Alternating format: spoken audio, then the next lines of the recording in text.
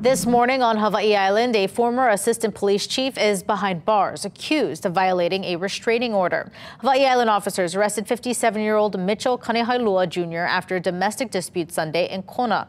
Sunday morning, Hawaii police say they were called to Hawaii Belt Road, where a 41-year-old woman said Kanehailua was her ex-boyfriend and claimed he violated a restraining order by going onto her property and trying to get in the house.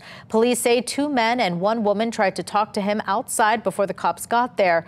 And that's when Kanehailua allegedly tried to hit the 47-year-old woman. Officers arrested him for violating the restraining order and harassment and took him to the Kealakehe police station where he remains in custody. Kanehailua retired in September 2019 from the Hawaii Police Department. Detectives are still investigating this incident.